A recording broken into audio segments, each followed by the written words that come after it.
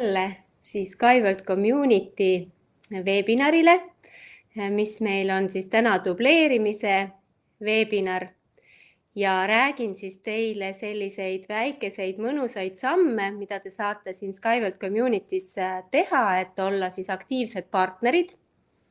ja minu nimi on Heli Tennosaar. mina olen siis Skyward Community partner juba aastast kaks tuhat kuusteist ja olen siis ka aktiivne investor, see tähendab, et mul on võetud siis äh, teatud paketid siin äh, Skyways ja mul on ka siis soetatud aktsiad. ja mina olen ka siis aktiivne partner, nagu ma ütlesin.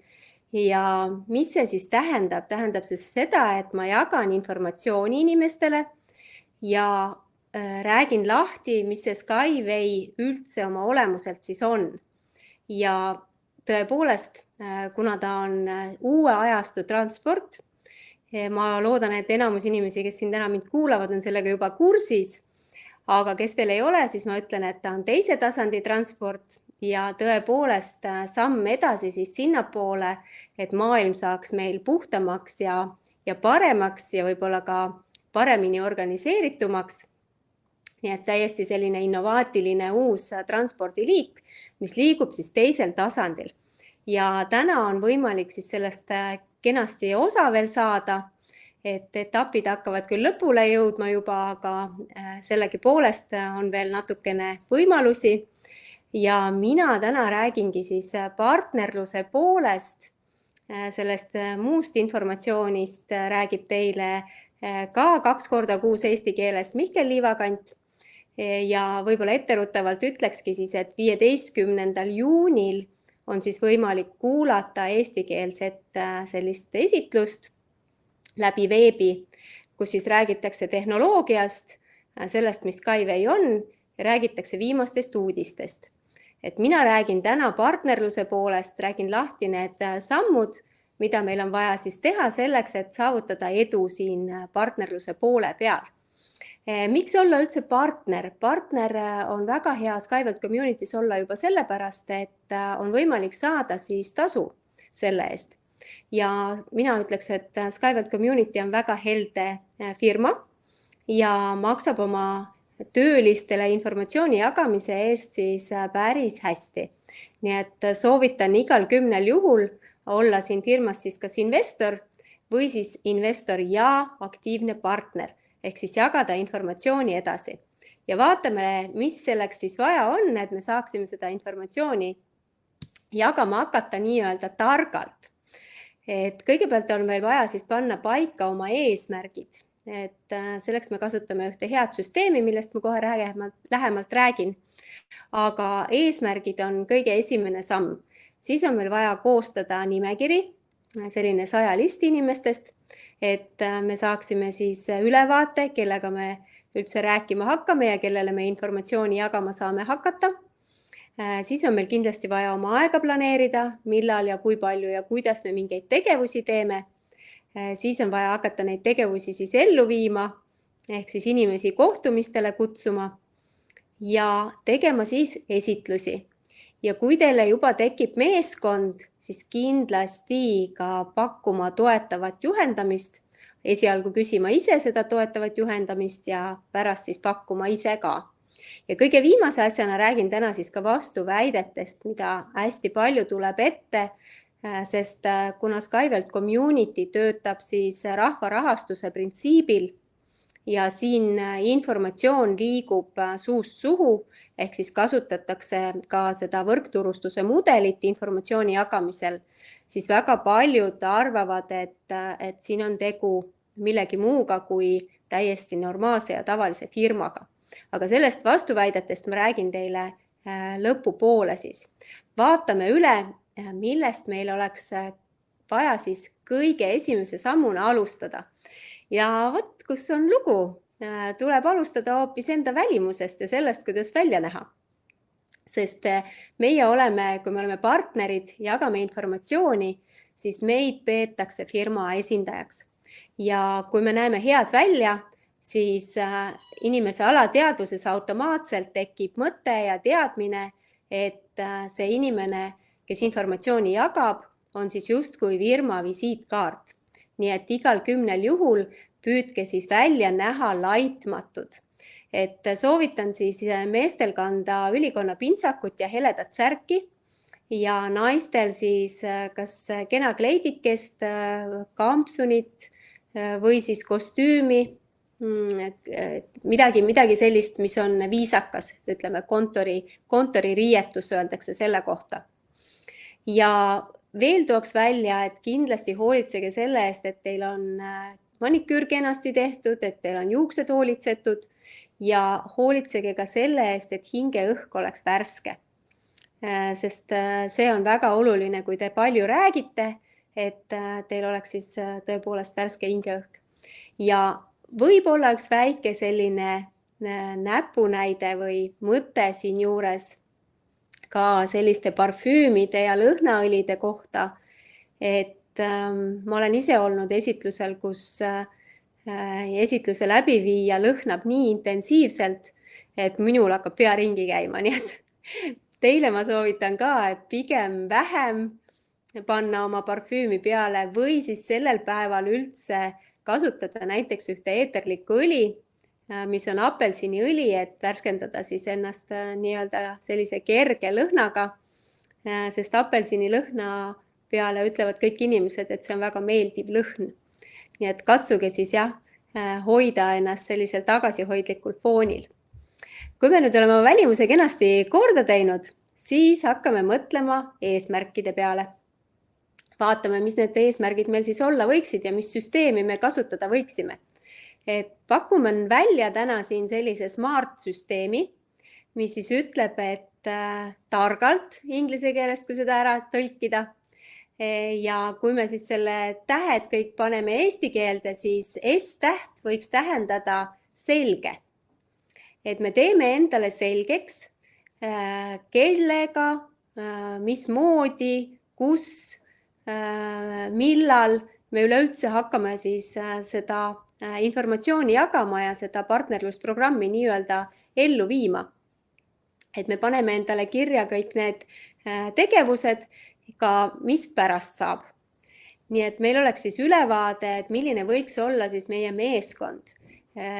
noh, kasvõi siis mõttes esialgu, et alguses on teil kindlasti üks inimene meeskonnas, kes on see inimene, kes teid kutsus nii et äh, tema käest saate alati ka nõu küsida ja tema aitab teil siis äh, nii-öelda ka samme äh, seada sellel partnerluse teel. aga kui meil on eesmärgi esimene punkt paika pandud, et meil on selgus majas, kus ja kuidas me sellega tegutsema hakkame, selle informatsiooni jagamisega, siis järgmine samm on mõõdetus, mõõdetus ehk äh, meie eesmärgid peaksid olema mõõdetavad. Et me peaksime iseenda jaoks panema sellised eesmärgid, äh, mis äh, on nagu saavutatavad ajalises järjestuses. ehk siis me teame, et kui me täna tegime mingi tegevuse ära, et siis mitu tegevust me tegema peaksime, et me saaksime näiteks tulemuse ja, ja mida me võiksime nagu kõigepealt võib-olla selliseks Äh, aluseks endale võtta, on äh, partnerlusprogramm, äh, mille alusel siis Skyvelt Community üldse tasusid nagu maksab. et kõik on kenasti kirjas meil isiklikes kabinettides, et kui te olete endale kabineti registreerinud, siis vasakult ülevalt nupukese pealt leiate partnerluse kui te seal allkirjastate partnerluslepingu, et olla, soovite olla partner ja informatsiooni jagada ja selle eest tasu saada, siis äh, avaneb teile ka siis karjääriredel ehk see informatsioon, kuidas te siis siin selles firmas saate samm-sammult liikuda äh, parema sissetuleku suunas. ja äh, sellel karjääriredelil siis esimeseks astmeks on liidri staatus Äh, mis tähendab siis äh, seda, et teie ise olete investeerinud siia Skybelt Community'sse kakssada dollarit ja kolm teie sõpra on seda samamoodi teinud. Et siis olete teie staatuses liider ja kui te selle eesmärgi olete endale pannud ja olete saavutanud, vot siis see eesmärk ongi mõõdetav eesmärk. nüüd järgmine, järgmine täht on A ehk aktuaalne ja see on võib-olla natukene selline huvitav, kuidas keegi sellesse suhtub, aga mina ütlen, et see aktuaalne tähendab seda, et äh, meie eesmärgid peaksid olema kooskõlas siis meie missiooniga. ehk siis äh, me peame tõepoolest äh, tahtma seda informatsiooni ka jagada, me peame sellesse, mida me jagame, ise ka uskuma ja ise sellest ka aru saama, ehk siis see peab olema meie jaoks täna tõsiseltvõetav töö, mitte lihtsalt niisama informatsiooni jagamine, sest SkyWorld Community's tõepoolest info jagamine on töö ja see on tasustatav töö. nii et äh, võite siis täitsa vabalt sellesse suhtuda ka niimoodi. R-täht tähendab siis selles smart süsteemis äh, reaalselt saavutatav ja miks on, miks on siia reaalsus sisse toodud just nimelt sellepärast, et kui te panete omale eesmärke, et teil ei tekiks äh, tuhin, et paneme endale utoopilised eesmärgid, sest utoopiliste eesmärkidega läheb tavaliselt alati natukene niimoodi, et äh, selline esimene tuhin läheb mööda ja siis löötegi käega, et ah, et kuu ajaga ei saanud seda kõige kõrgemat staatust kätte ja ah, ma ei tahagi. et pigem ütlen, et tehke siis oma eesmärke koos oma ülaliiniga äh, ehk siis oma mentoriga ja rääkige koos temaga, et kuidas tema liikus, et kuidas, kui kiiresti temal midagi õnnestus ja alati võite teha natukene paremini, et siis on teil endal ka hea tunne, et, et saate natukene kiiremini, kui teie mentor näiteks liikus. aga sellised mõistlikud äh, sammud ehk siis näiteks liidri staatuse saamine äh, võib siis toimuda väga kiiresti nädalaga äh, ja ütleme sellise hea tempoga võib-olla paari-kolme nädalaga. et täiesti, täiesti teostatav, et tean enda käest, et Äh, olen selle läbi käinud, et praegu olen siis äh, ta, staatuses top ekspert, äh, mis tähendab päris kõrgele jõudmist ja üks aste on mul veel minna ehk siis viimane selline karjääriredeli pulk on Skyward Community's Sky ekspert. nii et sinna siis, sinna siis ma pürgin nii-öelda aga reaalsed, uuesti tagasi eesmärkide juurde, et reaalsed eesmärgid pange siis endale jah, mõistlikud, et, et ei mõtleks, et te kuu ajaga jõuate siis sinna top eksperdi staatusesse. nii ja tõhtäht tähendab siis täpsustatud ajakava ehk siis meil võiksid olla ajapiiranguga pandud need eesmärgid paika. Ükskõik, kas nad on siis päeva eesmärgid või on nad siis suuremad eesmärgid, kuhu me jõuda tahame, meil võiks olla endale ette antud nagu kava, äh, kus me võiksime siis olla näiteks äh, kuu aja pärast. ehk äh, nad oleksid siis ajaliselt paika pandud ja määratletud, et meil oleks nagu mingisugune pidepunkt ja, ja sammud selged, mille järgi me siis liikuda saaksime.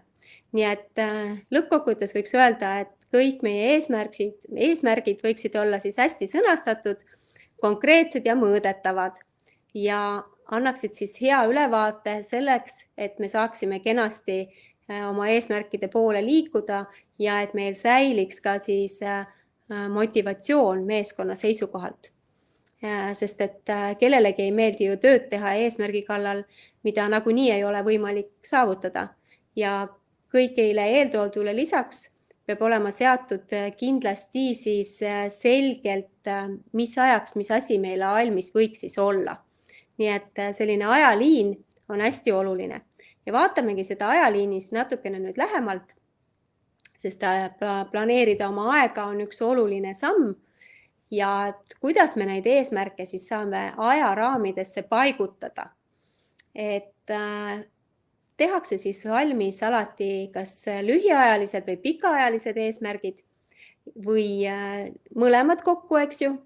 ja lühiajalised on siis igapäevased ja pikaajalised on siis äh, aastad äh, ja, ja viis aastakud ja kümme aastakud lausa.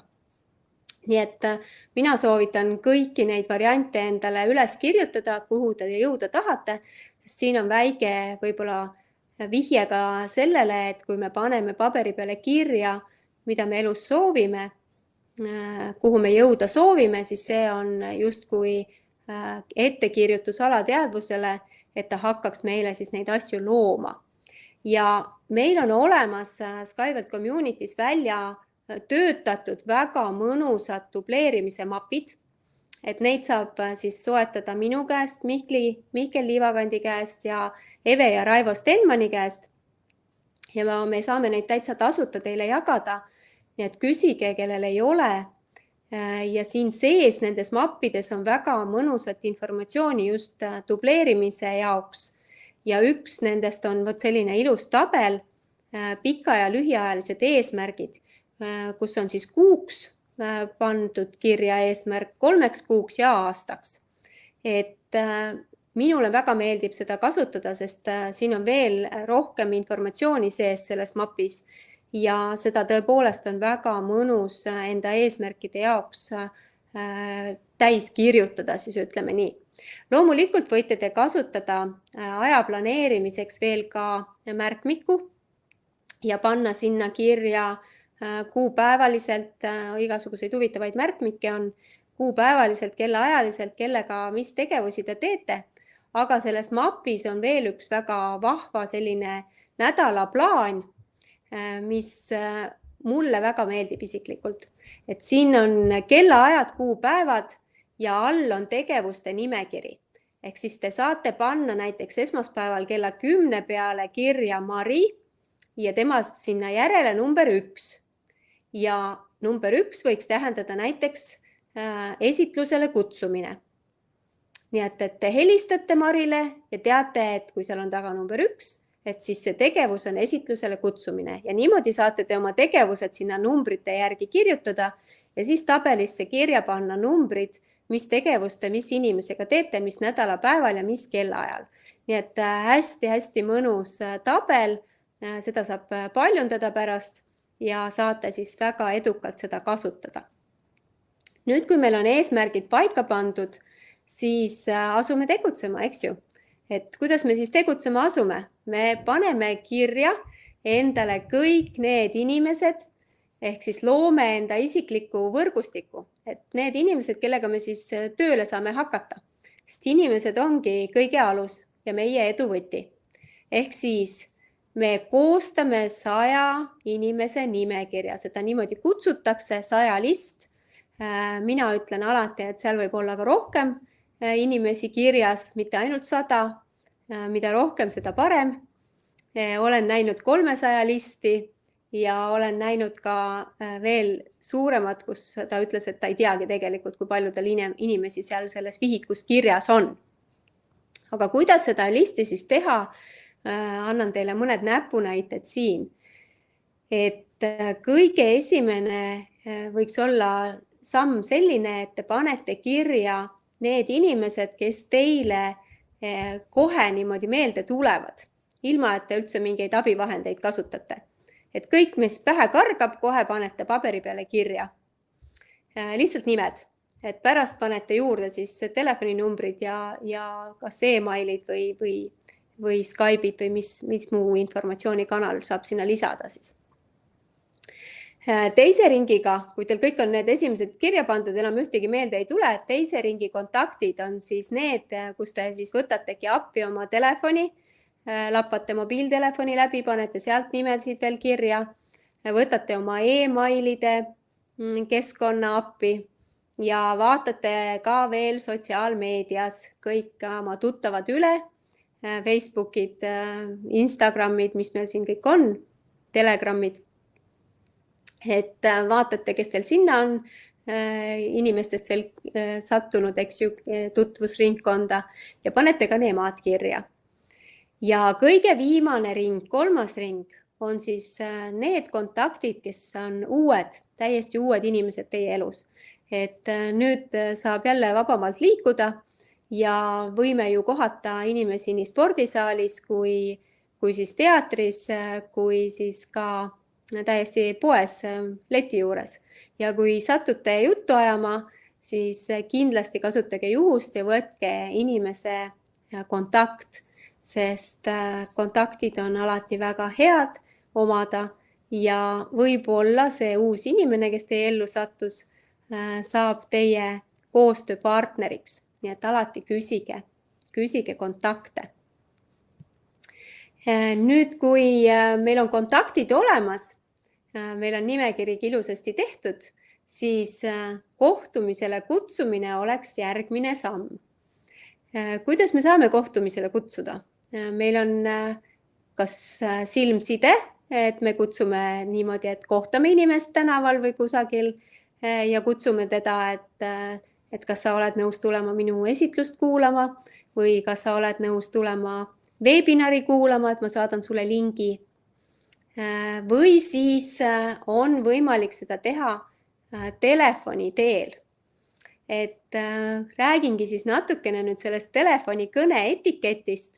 Äh, see alati on selline natu, natu hirmutav alguses, et olin isegi alguses päris hädas kohe nende esimeste helistamistega.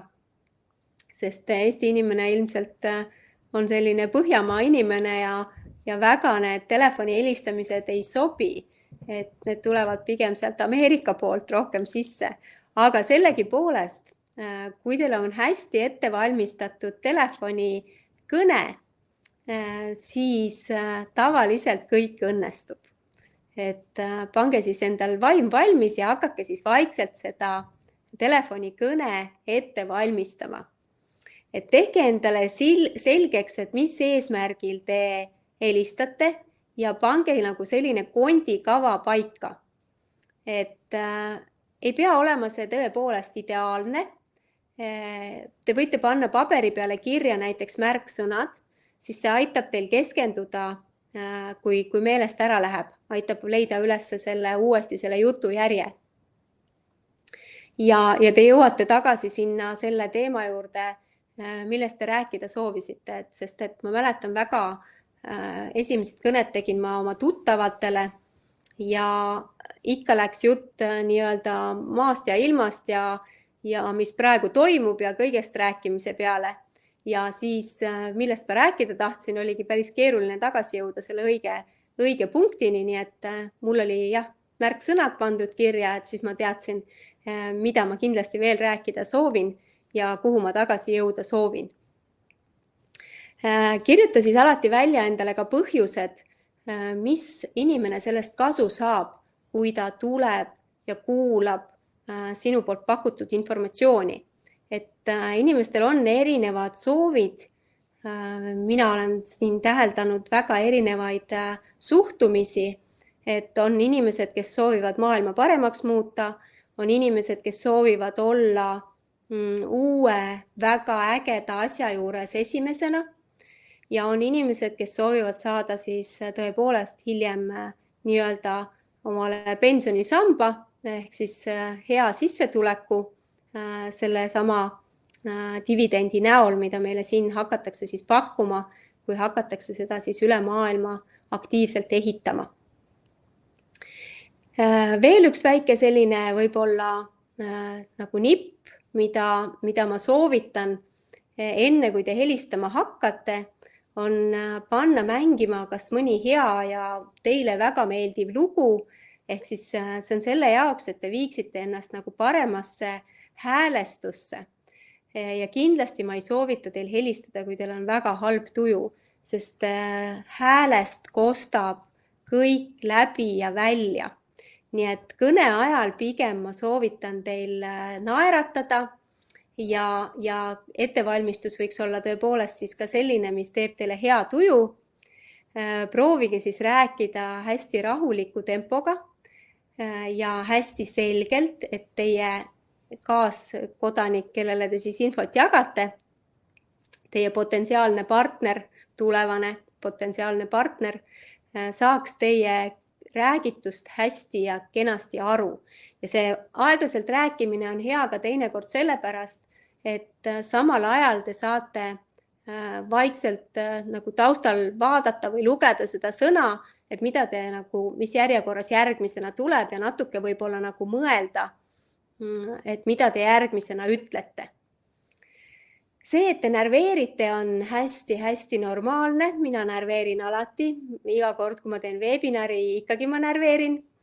et kuidas mul täna välja tuleb ja kas ma, kas ma ikka räägin õigeid asju õiges järjekorras ja kas ma midagi mm, kindlasti rääkimata ei jäta, eks ju. et äh, ikka närveerin, aga kuna ma kasutan slaide, siis mul on natukene lihtsam telefonikõne ajal Te võite ju lausa endale valmis kirjutada selle jutu, mida te rääkida soovite.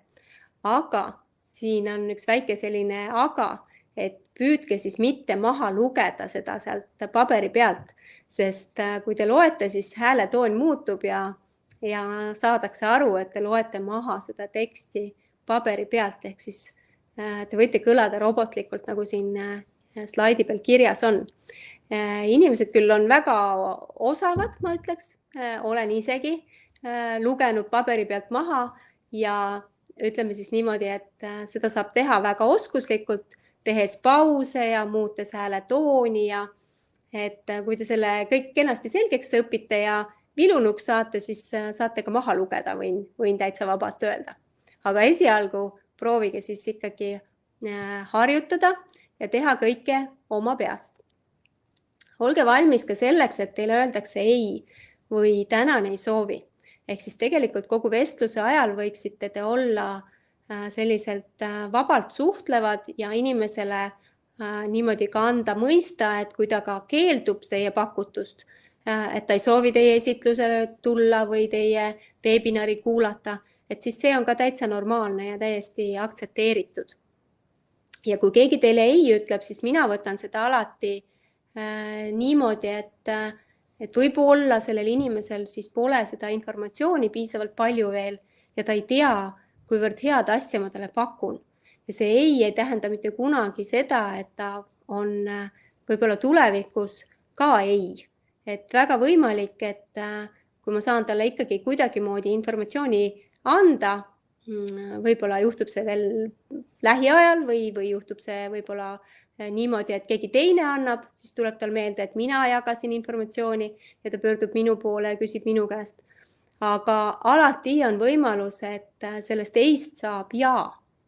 nii et äh, ärge kunagi siis äh, jah, ära ehmuge, et neid ei-sid võib tulla alguses juba sellepärast, et te ei oska võib-olla kohe nii hästi seda informatsiooni äh, jagada. et äh, harjutamine teebki siis jah meistriks et info jagamine peab siis äh, toimuma tõepoolest niimoodi, et äh, inimene saab sellest aru, et see on väärt asi, mida te talle pakute. aga kui nüüd siis ikkagi juhtub, et teile täiesti ebaviisakalt öeldakse, et, et äh, sõitke seenele nii-öelda et noh, võidakse veel hulleminigi öelda, siis mina soovitan teil tänada ikkagi seda inimest viisakalt tema kulutatud aja eest ja, ja lõpetada kõne ikkagi viisakalt, mitte, mitte vastata sama, samamoodi nagu tema seda tegi. sest äh, me ei tea kunagi elus, äh, millal me selle inimesega uuesti kohtuda võime ja mis tingimustes ja väga võimalik, et satub ta teie juurde ringiga tagasi ja siis äh, on tal teist väga-väga hea mulje, et te olete intelligentne ja viisakas inimene, et tal on see meeles kindlasti, et teie käitusite väga viisakalt. Äh, miks ma soovitan harjutada seda telefonikõnet, sellepärast et siis teil nagu kaob ära selline hirm, et need telefonikõned tekitavad tõepoolest sellist kõhedust, et äh, võib-olla mul ei õnnestu ja võib-olla ma ütlen midagi valesti, sest ma mäletan väga hästi oma esimest äh, esimest kõnet või no ühte, ühte esimest kõnedest, ühe, ühte esimestest kõnedest, äh, kus ma nagu ütleme siis niimoodi kogu aeg mõtlesin, kui see telefon kutsus, et parem on, kui, kui see inimene vastu ei võtaks. ja siis, kui ta vastu ei võtnud, siis mul oli niimoodi, et oh, kui hea, et ta ei võtnudki vastu, et mul on justkui nagu points kirjas, et ma helistasin, aga ma ei pidanud midagi väga hullusti rääkima või tegema et äh, vältida siis sellist äh, ka hirmu või sellist asja, et meil läheb midagi meelest ära, siis äh, võtke appi endale.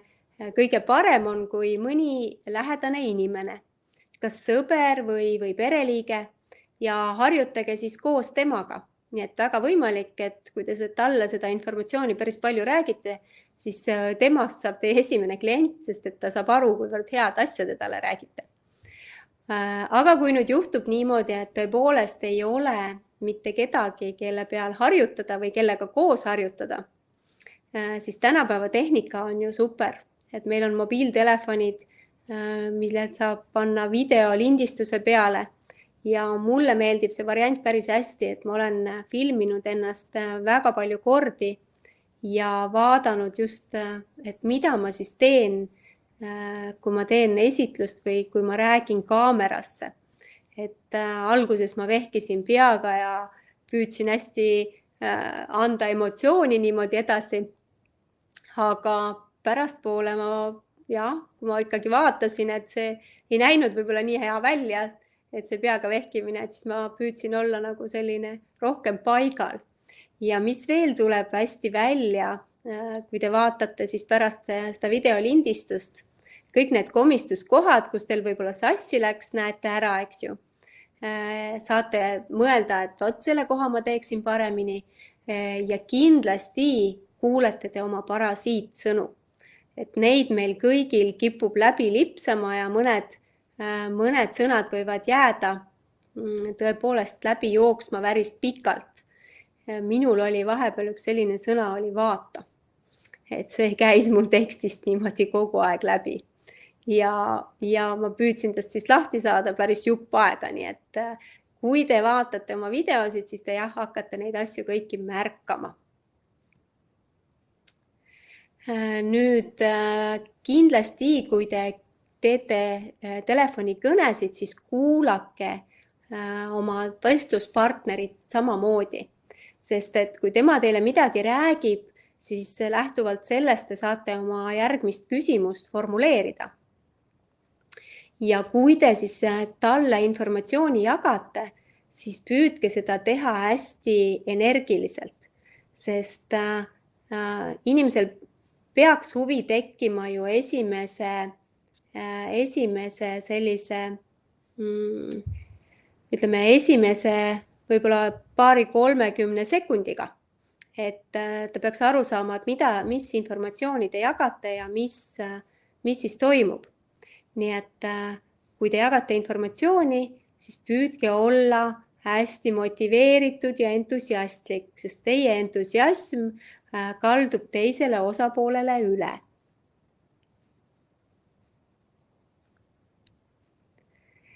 Nii et kokkuvõtvalt olen ma siia pannud sellise väikese sellise kondikava, mille järgi äh, te võiksite alustada ja see võiks olla siis niimoodi, et te pöördute teie jaoks õige inimese poole. ehk siis te valite oma sajalistist välja selle inimese, kes teile tundub kõige parem ja kõige sõbralikum ja kellega teil oleks hea rääkida. siis äh, kindlasti küsige alati, kas tal on hetk aega rääkida üleüldse Äh, kui on ta nüüd võõras inimene, siis äh, tutvustage ennast, rääkige hästi lühidalt, see on selline kolmekümne sekundi tutvustus, kes sa oled, millega tegeled. ja kindlasti andke ka kõne eesmärk, millega seoses helistate. et kui te helistate seoses sellega, et te soovite jagada informatsiooni ja kutsuda inimene esitlust kuulama, siis nii öelgegi, et tahate nagu teda esitlust kutsuda kuulama ja püüdke siis hästi vabalt jah, suhelda. Nii et inimesel on kogu aeg selline tunne, et talle mitte midagi peale ei suruta, sest äh, muidu tuleb sealt kindel ei eh,. noh, üldjuhul, et ma ei saa alati öelda, et äh, kui inimene on selline teadlik element, et mina olen alati selline, kes äh, kui mulle infot jagatakse, siis äh, ma olen alati valmis selle ära kuulama ja siis ma teen otsuse, kas see informatsioon Äh, nagu köidab mind või mitte. aga inimesed on siis erinevad ja jätke siis alati mulje, et kui ta ka teile ei ütleb, et siis äh, on see ka täiesti normaalne. aga mina ütlen alati, äh, kui inimene ütleb, et tal ei ole aega või ta ei taha, siis mina ütlen alati, et ma saan täiesti aru, et praegu ongi kiired ajad, aga kas ma tulevikus võin teile uuesti helistada ja pakkuda võib-olla mõnda teile sobilikumat aega ja paneme klappima äkki, et kui teile leidub aeg, kui sobib vaadata või kuulata, et siis saate te siiski sellest informatsioonist osa. ja vot sellise nõusoleku mina tavaliselt inimeste käest saan, et nad on nõus lükkama selle nii-öelda kuulamise tulevikku ja kui, kui sealt tuleb ei vastus. aga tavaliselt inimesed on uudishimulikud ja nad tahavad informatsiooni teada küll, nii et äh, nad hea meelega kuulavad, mis mul kohe öelda on. nii et äh, vastavalt siis olukorrale äh, leppige lõpus kokku, kas siis päris kokkusaamine või siis pange paika aeg, millal te järgmine kord helistate omavahel, et teil oleks mingisugune järeltegevus paika pandud. Nüüd äh, üks oluline punkt alati on closing'u tehnikad, et äh, siin alustan ma nende partnerluse closing utega. Closing ud on siis lõpetamise tehnikad, et äh, väga palju tehinguid jääbki siis äh, tegemata sellepärast, et äh, need, kes inimesed, kes informatsiooni jagavad, ei oska siis seda teemat nagu kokku võtta ja, ja noh, meile öeldakse alati, et nagu ära vormistada siis et need closing ud on hästi olulised ja ma toon siin välja võib-olla ühed sellised toredad sammud, äh, mida te saate siis kasutada. et äh, alati äh, lõpeb mingisugune vestlus mingisuguse otsusega, et kas see on siis jah, ma soovin või ei, ma ei soovi. et meie saame siis teha sellist kliendi huvi kontrolli et äh, kui me inimesega oleme rääkinud, talle informatsiooni jaganud, siis me saame küsida alati, et äh, kuidas teile meie projekt meeldib. et äh, mis teile siin selles projektis kõige rohkem äh, nagu meeldis või tähelepanu köitis. siis te saate ise ka aru äh,, teie jaoks ka informatsioon, et mis siis nagu inimest nagu kõige rohkem huvitas. ja üks väga hea nipp on veel, kui te panete inimese mõtlema, et kui on kümne punkti süsteem, siis millises, millisel pulgal nii-öelda see inimene asub oma huviga. Et kui ta tunneb väga palju huvi, siis on kümme punkti, eks ju, ja kui ta üldse ei tunne huvi, siis on üks punkt. et kui ta ütleb, et super hea info Äh, mulle väga meeldib, ma tahan veel rohkem kuulda, siis te olete äh, õnnelik, eks ju, ja räägite talle informatsiooni kangesti kohe edasi. aga kui ta ütleb, et äh, noh, minu huvi on praegu ainult kaks punkti, et siit te saate siis infot, et inimene ilmselt ei tea veel kõike asju või on tal siis hetkel mingid muud mõtted peas, et ta ei olegi süvenenud sellesse teemasse. Nii et mina siinjuures äh, küsingi alati, et äh, aga et mis teile siis sellest esitlusest meelde jäi ja mida te siis oskate mulle äh, öelda, mis teile siin kõige rohkem meeldis, et küsin nagu selle esimese punkti uuesti üle ja kui ta räägib, mis talle meeldis, siis ma lihtsalt räägin veel juurde võimalusi ja veel juurde asju hästi lühidalt küll, aga toon välja mm, palju asju juurde, et talle seda huvi siis äh, nii-öelda kõrgemaks tekitada.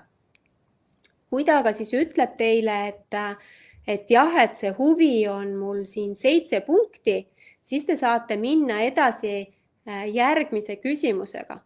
kui palju raha te sooviksite kuus teenida, kui te olete Skyward Community partner? sest siin tõepoolest on tasustamine olemas ja informatsiooni eest, nii nagu ma ütlesin, Skyward Community tasub heldelt Äh, lausa viisteist protsenti äh, sellelt investeeringult, mis tuleb teie kaudu sisse. ehk siis äh, tõepoolest väga head tasu makstakse ja võiks siis inimese käest uurida, et kui ta on nõus olema Skyward Community partner, et milline summa see võiks olla, mida tema soovib kuus saada. järgmine küsimus, et kui palju aega on see inimene nõus panustama, et seda summat siis saada ja nende summadega ka olge siis nagu hästi sellised mm, nagu targad äh, juhendajad, et äh, esialgu pange need summad siis väiksemad kirja. Äh, te võite panna plaani, kui palju see summa võiks olla nädala pärast, kui palju kuu pärast ja kui palju siis aasta pärast. et need oleks sellises kasvavas järjestuses, et, et need ei oleks siis väga utoopilised, eks ole. ja kui te küsite, kui palju inimene on nõus aega panustama ja kui ta teile ütleb, et ühe tunni nädalas, siis kindlasti selgitage talle lahti, et, et ka tavatööl käies üks tund nädalas pole piisav, et teenida tuhat eurot kuus, eks ole. kui ta näiteks sellise summa välja pakub. Et selleks tuleb ikkagi rohkem panustada ja rääkige siis lahti, kui palju teie panustate ja minge siis sujuvalt äh, viienda punkti juurde ja juhtige tema tähelepanu sellele, et teie olete nõus panustama seda aega koos temaga. et tekitada temas nagu äh, julgust ja tahet äh, koos teiega toimetada. et andke talle siis nagu jah, sellist õlatunnet turvatunnet, et te olete nõus teda aitama esialgu. et see on väga suur asi, kui midagi alustada, et meil on olemas keegi mentor, kes meid aitab. ja kõige viimane selline küsimus on natukene võib-olla provokatiivne, aga see on väga tõhus. ja te saate siis küsida, et kui mina, siis kas ka sina oled nõus panustama näiteks kümme tundi nädalas järgmised kuus kuud ja saama vot sellist äh, sissetulekut, nagu sa just praegu mulle siin ütlesid. nii et, et see on selline, mm, selline hea, äh, hea küsimus ja selle peale inimene ütleb, et äh, jaa, muidugi, kui sina oled nõus panustama, et siis ma ka leian selle aja ja ikka olen nõus panustama, sest informatsioon on ju hea, mida jagada. nii et te saate endale siis läbi selliste küsimuste väga toreda koostööpartneri ja siis ongi järgmine selline väike küsimus seal väikesemas kirjas, et kuidas me koostööd alustame. et kas me avame teile siis kohe äh, veebikabineti ja, ja aitame teil registreeruda siis äh, äh, ka partnerluslepinguga. nii et hakake siis kohe teda aitama ja juhendama.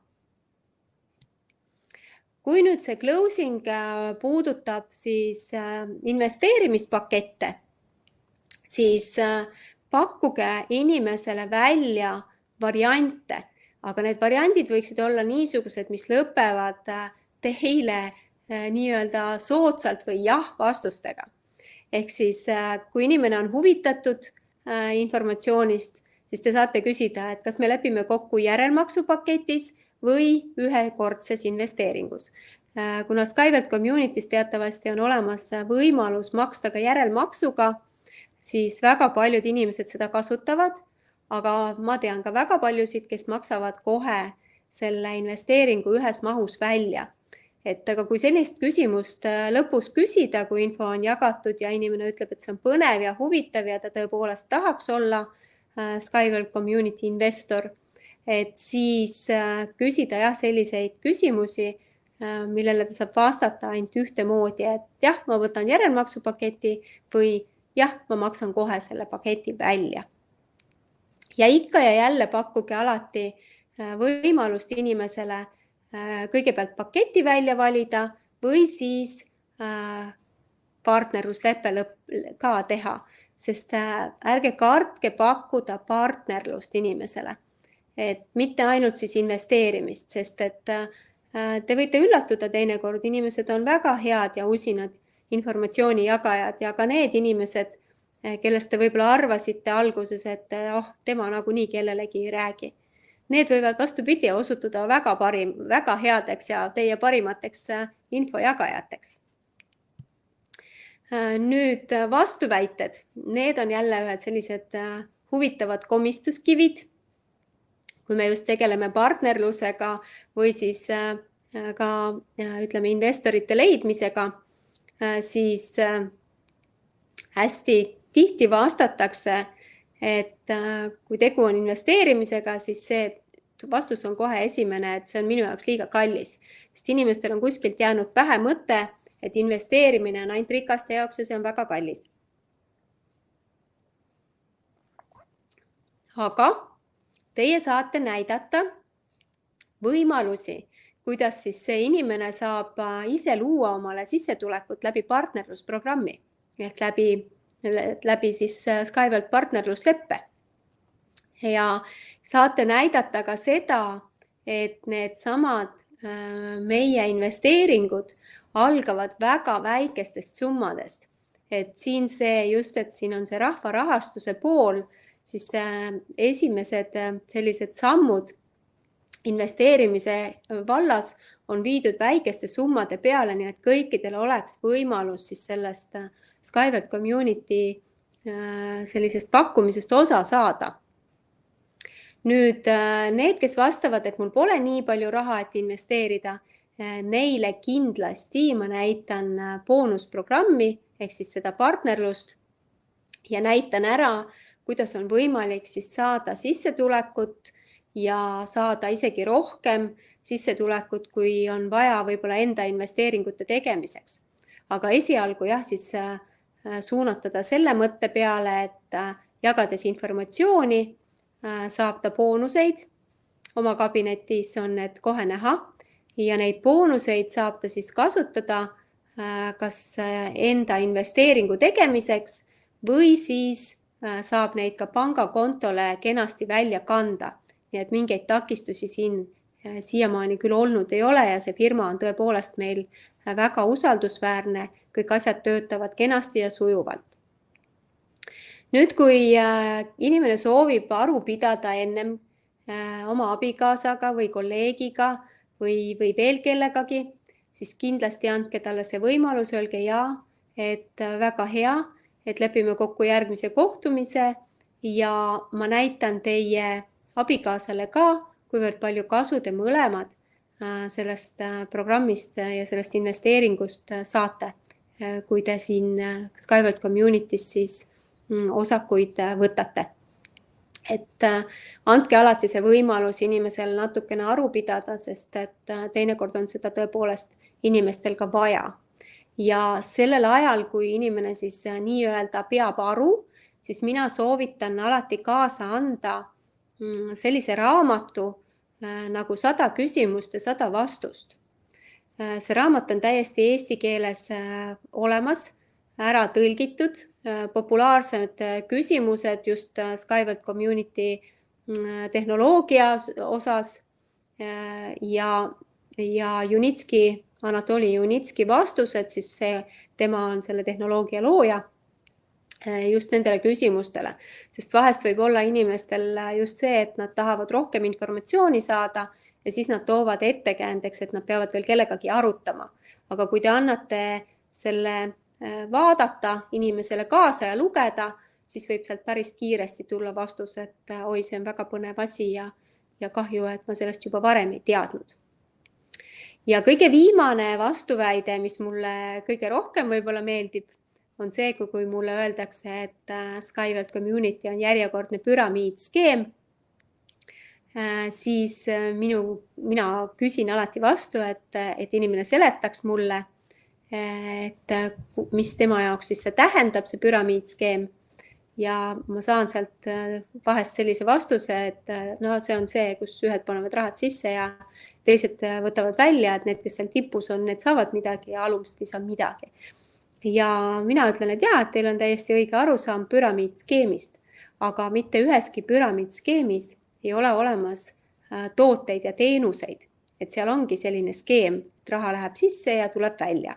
aga Skyward Community's on olemas äh, tooted, mis on juba sertifitseeritud ja praegu käib väga suur äh, töö Araabia Ühendemiraatides Sharjas Äh, just äh, transpordi tehnoloogilise poole pealt ehk siis konteinerveo äh, poole pealt ehitatakse välja siis trassi ja püütakse seda konteinervedu seal sertifitseerida siis. ja meil on olemas Valgevenes Marina Gorkas ökotehnopark, kus meil on juba sertifitseeritud mudelid, mis on mõeldud inimeste veo jaoks. ehk siis pakkuda inimestele sõiduteenust, transporditeenust nii et meil on olemas nii tooted kui siis ka võimalus pakkuda teenust ja mitte ükski selline firma ei saa olla püramiidskeemi firma. nii et äh, sellega te kummutate siis äh, inimeste arvamuse sellest, et äh, Skyward Community on püramiidskeem. nii et igal kümnel juhul saate te siis lahti seletada, et miks ta ei ole. nüüd esitlused kui te teete esitlusi ja teete juba iseseisvalt esitlusi, siis enne selleks on vaja väike ettevalmistusperiood ja natukene harjutamist. mina soovitan endale teha selline kondikava ehk siis teha selline viieteistminutiline esitlus. mina ise kasutan selleks Skyworld Community brošüüre, mis on ilusad värviliste piltidega. Neid saab ka jälle täitsa minu käest ja Mihkel Liivakandi käest ja Aivar Raivo Stenmani käest. küsige, me anname teile. Need on väga head töövahendid ja väga lihtne on siis teha sellist lühikest esitlust Äh, aga pikkade esitluste tegemise jaoks on meil olemas äh, täiesti head slaidid äh, meie kabinettides ja sealt saab siis alla laadida ja teha endale nii-öelda PowerPointid. ja kui te siis neid esitlusi tegema hakkate PowerPointidega või siis ka brošüüridega, lühikesi ja pikki, pikk esitlus võiks siis olla nelikümmend viis minutit umbes, siis esialgu võtke oma mentor appi et tehke esimesed viis esitlust koos. et esimesed kaks äh, las teeb mentor ise. Teie istute, vaatate, kuulate, äh, teete märkmeid, vaatate, kuidas tema seda esitlust teeb. siis äh, järgmise esitluse ehk kolmanda esitluse võiksite teha pool ja pool et valite juba välja endale need osad, mis teile tunduvad, et oh, neid ma juba saan, võin rääkida, need mulle tunduvad, et on okei okay,, need on head Äh, ma tunnen ennast kindlalt ja need, millest te veel kindlalt ei tunne, las siis mentor teeb selle kolmanda. Ja päris kaks viimast esitlust viiest. Äh, võtke süda rindu ja hakake te ise tegema, aga ikka koos mentoriga. Ja mentor kuulab. nüüd on tema see, kes teeb märkmeid. Ja kindlasti mentoritele panen südamele, et andke positiivne tagasiside oma, oma uuele partnerile. Sest äh, juhtige tähelepanu sellele, mis läks hästi. näidake kindlasti ära see, mida saab paremini teha, aga tehke seda sellise positiivse alatooniga, et äh, inimesel säiliks siis see motivatsioon ja, ja et ta siis oleks äh, inspireeritud ka neid edasi tegema, neid esitlusi. et ta väga ära ei ehmataks, et, et sai, sai nagu korralikult sarjata, eks ole et pigem ikkagi positiivne, rääkige lahti, kus äh, saab midagi paremini teha, kui oli mingeid takistuskohti, aga andke siis jah, sellist head tagasisidet inimesele. Äh, veel, mida tasuks siis äh, klientide puhul kindlasti ära näidata, et meie see Skyworld Community projekt on hästi arukas ja hästi oluline praeguse maailma situatsiooni seisukohast kuna ta on ökoloogiline projekt, ehk siis äh, ta jätab maailma puhtaks, ta ei kasuta fossiilkütuseid, siis äh, praegusel hetkel on ta tõepoolest maailma mõistes väga-väga oluline. ja miks ta arukas on, arukas on ta sellepärast, et äh, kui me lähme teisele tasandile, siis jääb meile ju maad, metsamaad, ka, ka muud maad alles palju rohkem ja maa saab hingata ja maa peal saab siis äh, ka näiteks põldu harida, sest äh, vaadates praeguseid äh, teestruktuure, siis asfaldi all, asfaldi peal ei kasva midagi, et asfaldist vahest kasvab ainult mõni võilill läbi. aga see ei ole meile nagu kasulik, et vilja me asfaldi peal kasvatada ei saa. aga Skyward Community trasside all saame. nii et see on hästi arukas projekt Eh, kindlasti räägi, et meie projekt on eh, usaldusväärne, et me pole enam startup ettevõte, et meil on juba mm, kaks tuhat viisteist pandud nurgakivi ökotehnopargile. ehk siis meil on juba kuus aastat arendustegevust selja taga, mis hakkab varsti siis ütleme vilja kandma aadressprojektide näol. nii et kindlasti öelge seda, ja näidake meie kabinetis äh, ka ära, et meil on äh, usaldusväärne firma juba sellepärast, et peab äh, iga inimene ennast identifitseerima, et ära näitama, et ta on päris elus inimene ja et hiljem siis saada siis oma aktsiatega kaubelda. et või siis hoida neid alles, et saada dividende, et selleks tuleb siis verifitseerida. Ja pangad samamoodi nõuavad ja suhtlevad ainult selliste firmadega, kes on siis tõepoolest usaldusväärsed. Ja meil on väga paljude pankadega, väga paljude pankadega koostöö kindlasti uuri siis, millised on kliendi vajadused, mida tema siis soovib, et äh, kas tema on siis äh, rohkem rohelise jalajälje maailma jätja inimene või siis tema soovib saada sissetulekut tule, tulevikus või on ta siis see inimene, kes tahab olla üks osa väga suurest projektist. Need eri, esinevad, erinevad, erinevad soovid on siis inimestel. Kui te hakkate rääkima siis pakettidest, tooge välja mõne paketi eelised ja räägi enda arusaamast projekti kohta. et äh, mis siis see tähendab ja kus ja mida on võimalik siis äh, vaadata. ehk siis räägi siis äh, lahti inimese jaoks ka kabineti registreerimise võimalus. näita kindlasti konkreetseid investeerimispakette, too välja populaarsemad paketid Äh, mis on siis äh, sada dollarit ja kakssada dollarit äh, kuus paketid, need on hästi populaarsed inimestel.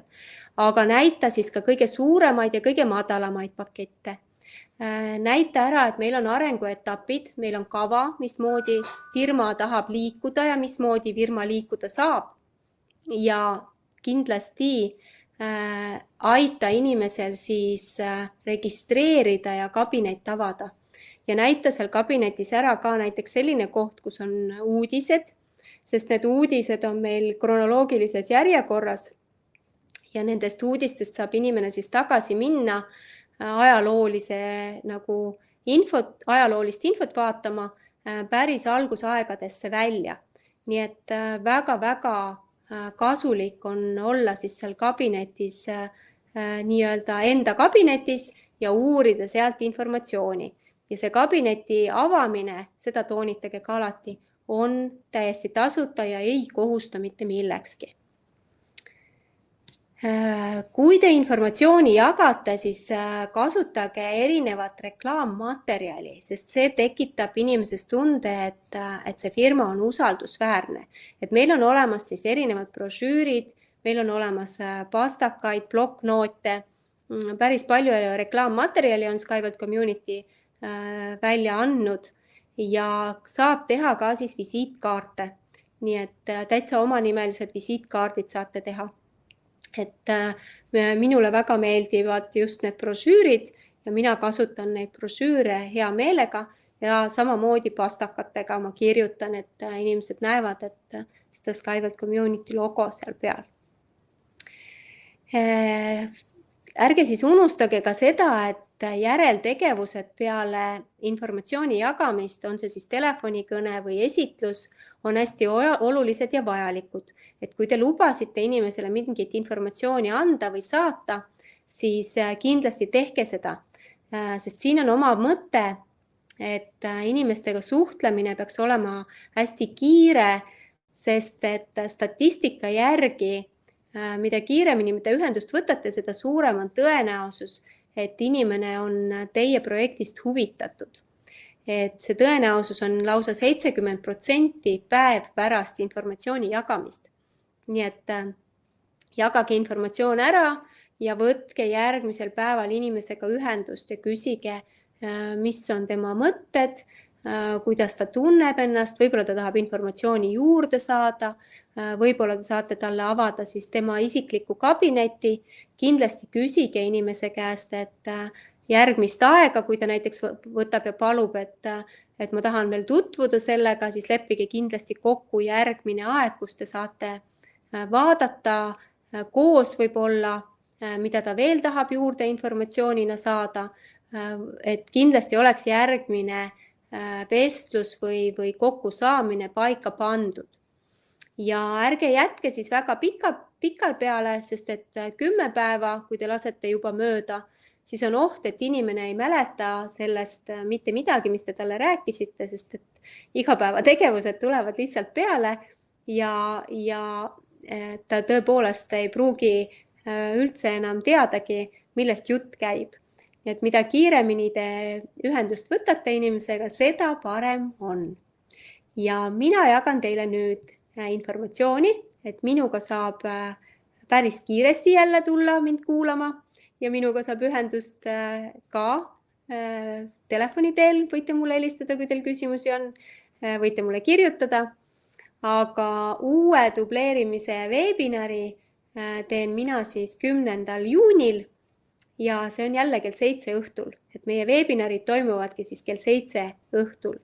Ja Skyway tehnoloogia tutvustus äh, toimub siis eesti keeles äh, viieteistkümnendal juunil. nii et äh, väga soovitan teil nendega ka tutvuda, nende tehnoloogia veebinaridega, sest seal räägitakse viimaseid ja häid uudiseid Äh, mina tänan teid täna ja soovin teile mõnusat ja edukat äh, nädala lõppu. puhake kenasti, meil on väljas mõnus soe suvi ja kindlasti jagage informatsiooni, sest Kaivelt Community info jagamine on teile endale äh, kasulik ja kõikidele inimestele, kes sellest osa võtavad, ka kasulik. nii et ärge kartke jagada ja nautige sealjuures suve. kõike kaunist teile ja kohtumiseni kümnendal juunil